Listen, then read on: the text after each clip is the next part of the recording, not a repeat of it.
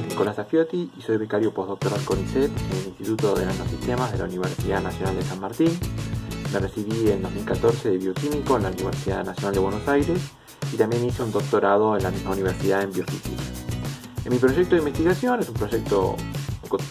tecnológico, el objetivo es diseñar un dispositivo biomimético para estudiar distintas eh, patologías de la sangre y para eso combinamos microfluídica con nanotecnología.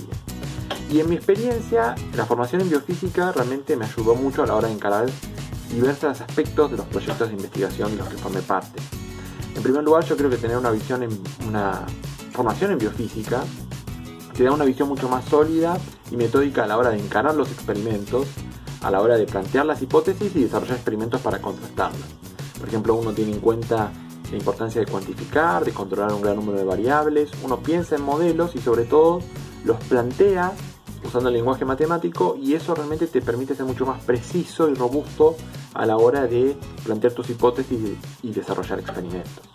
También yo creo que para el caso de los bioquímicos y bioquímicas, farmacéuticos y farmacéuticas o biólogos y biólogas, tener formación en, biofísica te permite tener eh, en ciertos aspectos un lenguaje en común con físicos y físicas, eh, ingenieros e ingenieras, de tal manera de que esa formación en biofísica te permite, te facilita a la hora de formar parte de un grupo de trabajo interdisciplinario.